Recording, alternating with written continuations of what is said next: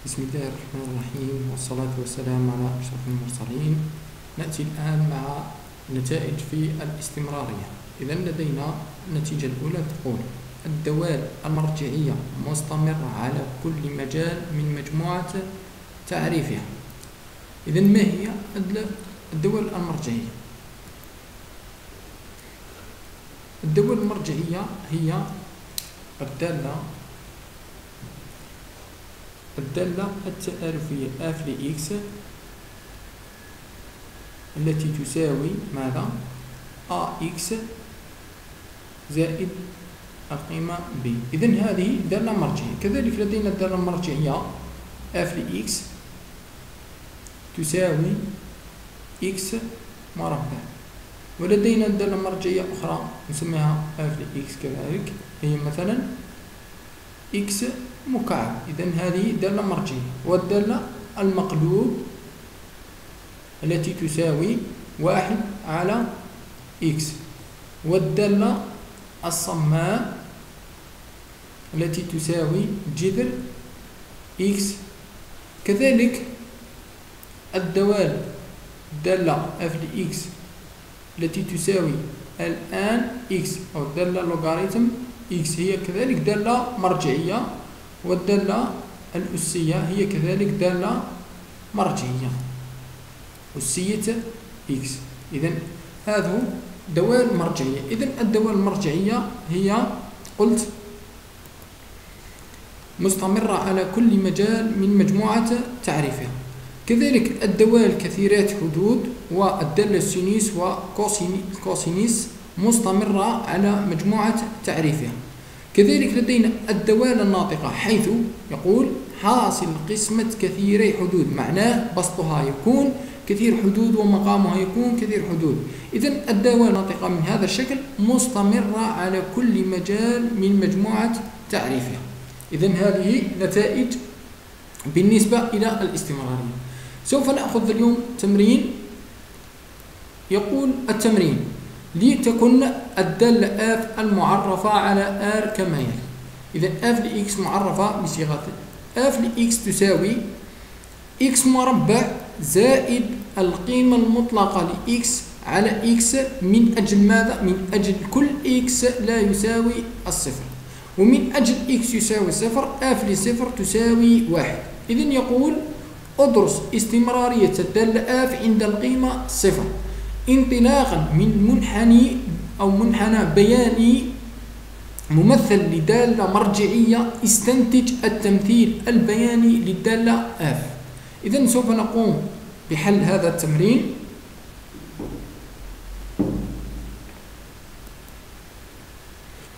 أقوم بإزالة هذا العمل للدوال المرجعية.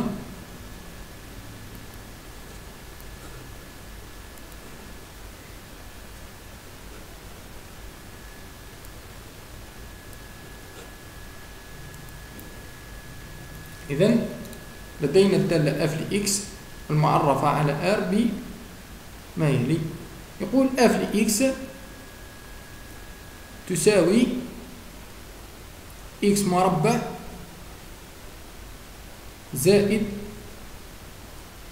القيمة المطلقة لx على x من أجل x لا يساوي صفر. أو نقول x ينتمي إلى r نجمة. و آف لصفر ماذا تساوي؟ تساوي واحد. المطلوب هو دراسة استمرارية الدالة إذا قبل الانطلاق في أي سؤال هنا الدالة برمز القيمة المطلقة. إذا أول خطوة نقوم بها هي إزالة رمز القيمة المطلقة. إذا كيف ذلك؟ لاحظ معي أنه داخل رمز القيمة المطلقة إذا x سوف نقوم بدراسة إشارة x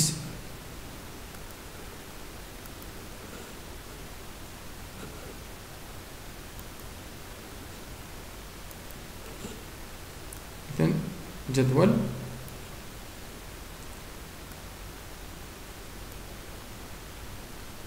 إذن لدينا هنا x نقول يأخذ أيام حقيقية. قلت x يأخذ قيم حقيقية من ناقص ما لا نهاية إلى غاية زائد ما لا نهاية. إذا x الذي داخل رمز القيمة المطلقة ماذا يعدمه؟ إذا صفر هنا الذي داخل رمز القيمة المطلقة أنا أخذت الذي داخل رمز القيمة المطلقة لدينا هنا لما x يساوي صفر إذا x هذا يساوي صفر إذا كيف تكون إشارته؟ إذا عكس إشارة A نفس إشارة A لماذا؟ لأنه من الدرجة الأولى إذا هنا يكون سالب وهنا يكون موجب إذا لاحظ معي. في المجال من صفر إلى غاية زائد ما لا نهاية. إكس هنا يكون موجب. إذا قلت يكون موجب. سوف أكتب العبارة. إذا أكتب f لإكس ماذا تساوي؟ إذا تساوي x مربع زائد x يصبح x على x. من أجل ماذا؟ من أجل x. أين ينتمي؟ من المجال المفتوح من صفر إلى غاية زائد ما لا نهاية لماذا؟ لأن صفر هنا قيمة ممنوعة إذا من أجل x نقول ينتمي إلى المجال المفتوح من صفر إلى غاية زائد ما لا نهاية هذا مجال مفتوح. يمكننا تبسيط هذه العبارة. إذا هنا x مربع x قسمة x يصبح زائد واحد. من أجل هذا المجال. إذا بقي هذا المجال. المجال الأول هذا. إذا انتهى. سوف أقوم بتشطيبه. إذا سوف أنسى هذا المجال. سوف أنسى هذه الجهة. الآن بقي من ناقص ما لا نهاية إلى غاية صفر. إذا هنا إشارة سالبة. إذا حتى أغير هذه الإشارة أو أحولها إلى إشارة موجبة إذا يجب ضرب في الإشارة السالبة. إذا أقول ناقص في الناقص ماذا يصبح؟ إذا يصبح زائد. إذا يصبح هنا زائد. هذه الخانة قمت بضربها في إشارة سالبة. إذا هنا x سوف أقوم بضربه في إشارة سالبة إذا ماذا يصبح؟ يصبح ناقص x. ونكتب الدالة هكذا. إذا الدالة تكتب هكذا. F لx تساوي x. مربع ناقص. إذا x القمة المطلقة ل x أصبحت ناقص x على x. هذا من أجل x ينتمي إلى المجال من ناقص ما لا نهاية إلى غاية صفر مجال مفتوح. وأصبحت الدالة f x تكتب بالصيغتين على المجالين. إذا يمكننا أيضا تبسيط هذه العبارة. تصبح x مربع ناقص x قسمة x. إذا هي ناقص واحد. هكذا أصبحت. للفهم فقط. سوف أعطي مثال بالنسبة إلى الدالة بالقيمة المطلقة مثلا لو كانت لدينا دالة هكذا f ل x تساوي القيمة المطلقة ل x مثلا زائد واحد. دائما قبل أي أو الشروع في أي عمل سوف أزيل رمز القيمة المطلقة. إذا هذه مجموعة تعريفها f تساوي R أو من ناقص ما لا نهاية إلى غاية ما لا نهاية إذا لإزالة رمز القيمة المطلقة سوف أقوم بأخذ ما بداخل رمز القيمة المطلقة وأقوم بدراسة إشارته. إذا هذا x زائد واحد سوف أقوم بدراسة إشارته. إذا x زائد واحد تعدم من أجل x يساوي ناقص واحد.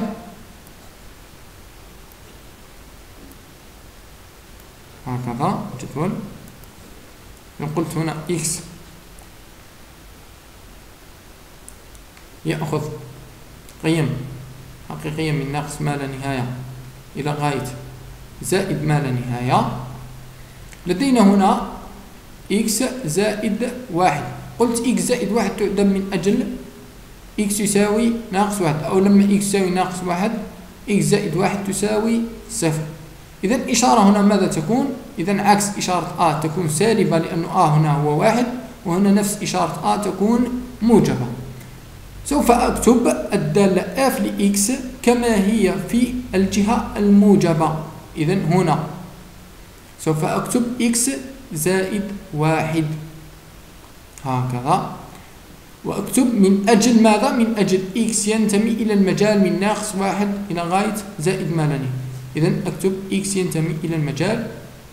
أحب هنا أن أقوم بفتح أو بالغلق كما أشاء. إذا أقوم بفتح عند الناقص واحد إلى غاية زائد ما لا نهاية. مجال مفتوح. إذا هذا هذه الخانة انتهيت منها. سوف أقوم بتشطيبها. بقية الخانة السالبة أو الجهة السالبة. إذا سوف أقوم إذا أقول هذه الإشارة السالبة كيف أحولها حتى تصبح إشارة موجبة. إذا يجب ضربها في إشارة سالبة أخرى. إذا أقول ناقص في الناقص ماذا يصبح زائد. هنا ضربت في إشارة سالبة. سوف أقوم بضرب هذه العبارة في إشارة سالبة وتصبح مثلا هكذا.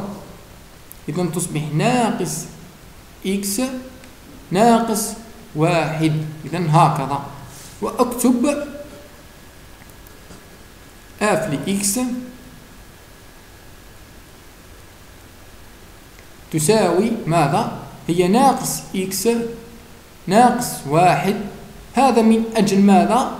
من أجل كل x يأخذ قيم من ناقص ما لا إلى غاية ناقص واحد. المجال مغلق عند الناقص واحد. لماذا؟ لأني قمت بفتحه في الأول. إذا إكس ينتمي إلى المجال من ناقص ما لا نهاية إلى غاية. قلت ناقص واحد. المجال مغلق. لو قلت قمت هنا بغلق المجال في هذه في المجال الأول. هكذا. هنا لو قمت بغلق المجال عند الناقص واحد هنا هنا سوف أقوم بفتح المجال. بما أني هنا تركت المجال مفتوح فهنا يجب غلق المجال.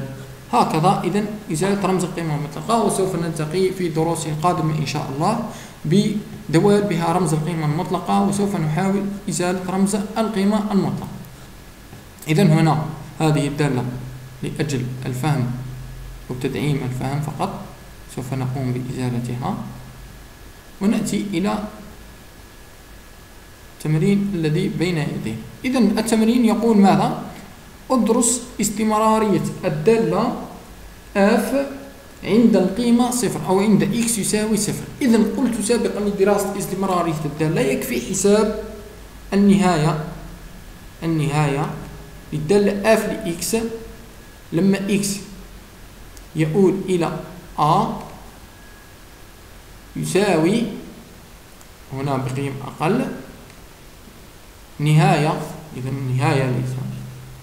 هنا نهاية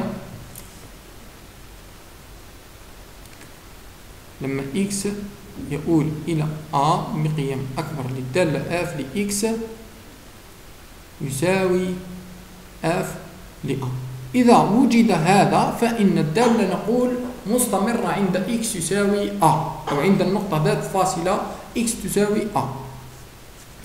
إذا نأتي إلى الدالة التي بيننا بين أيدينا.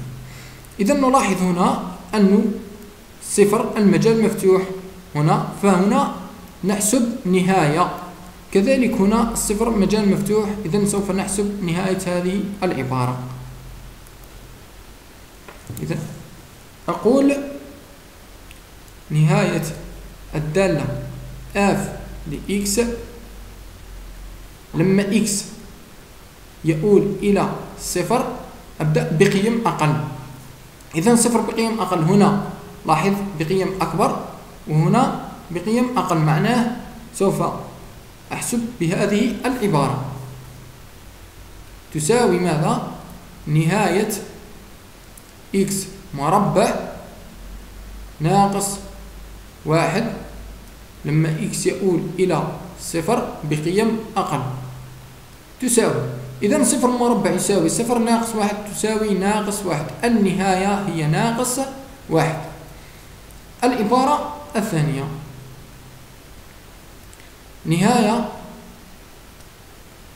لما x أو النهاية الثانية لما x يؤول إلى صفر بقيم أكبر للدالة f لx أقول تساوي نهاية x يؤول إلى صفر بقيم أكبر إذا هنا x مربع زائد واحد تساوي إذا صفر مربع هو صفر زائد واحد يساوي واحد ماذا نقول؟ إذا نقول بما أن بما أن ماذا؟ نهاية الدالة f لx لما x يؤول إلى صفر بقيم أقل لا يساوي ماذا؟ لا يساوي نهاية الدالة f لx لما x يؤول إلى صفر بقيم أكبر هذا الذي يساوي f لصفر فإن ماذا؟ إذا أنت تلاحظ أن نهاية الدالة f لx لما x يؤول إلى صفر بقيم أكبر هي نفسها f لصفر فإن ماذا؟ فإن الدالة f لx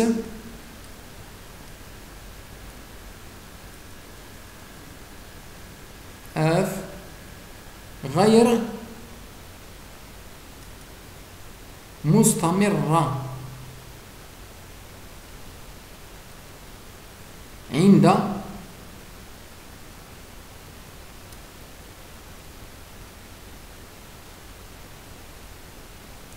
x يساوي صفر.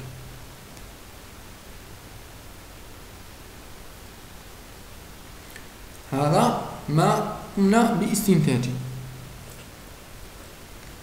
نأتي الآن إلى المطلوب الثاني وهو يقول انطلاقا من منحنى أو منحنى بياني ممثل لدالة مرجعية استنتج التمثيل البياني للدالة F إذا سوف أقوم باستنتاج التمثيل البياني للدالة F بالإعتماد على الدالة مرجعية.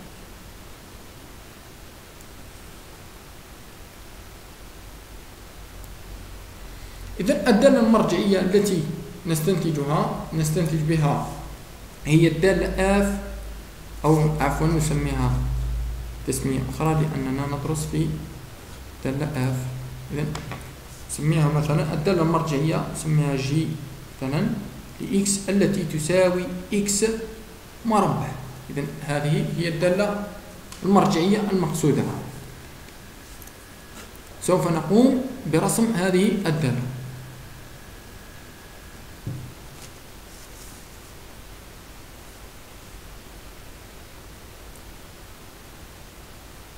إذن هو عبارة عن قطع مكافئ.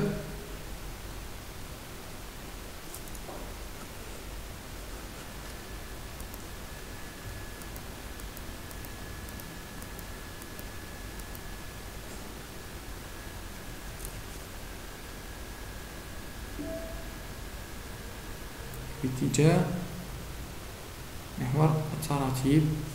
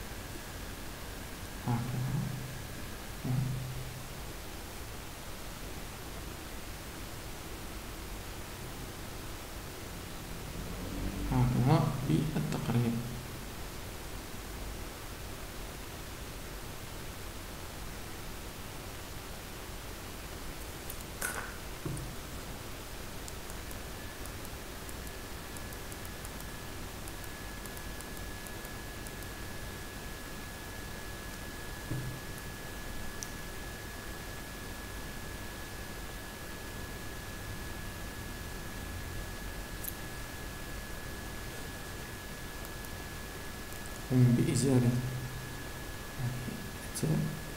صعب يعني الرسم بالقلم الضوئي.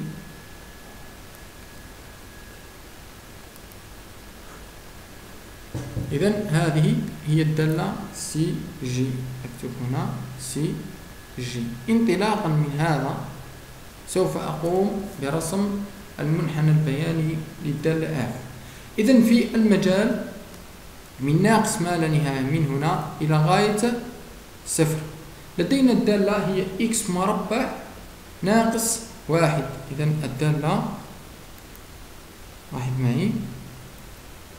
إذا في المجال من ناقص ما لا نهاية إلى غاية صفر الدالة هي x مربع ناقص واحد.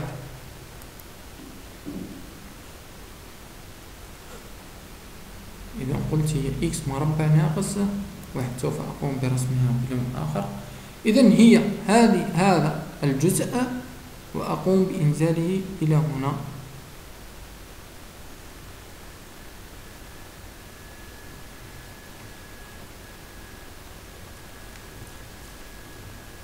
إذا هنا يكون ناقص واحد. سوف هنا واحد.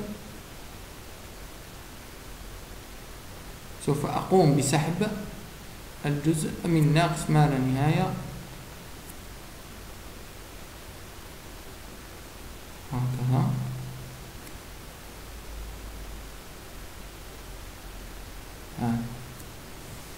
أما الجزء الآخر إذن هنا فقط.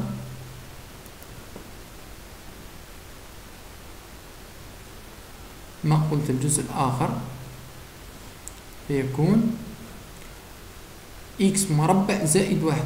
معناه من هنا طلب من هنا من واحد.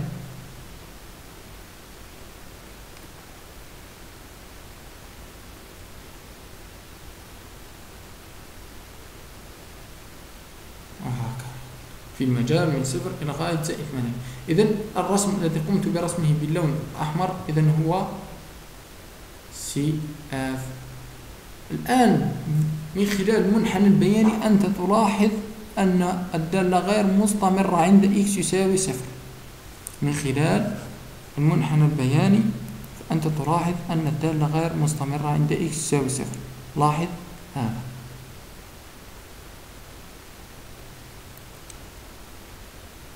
إذا هنا ملاحظة فقط.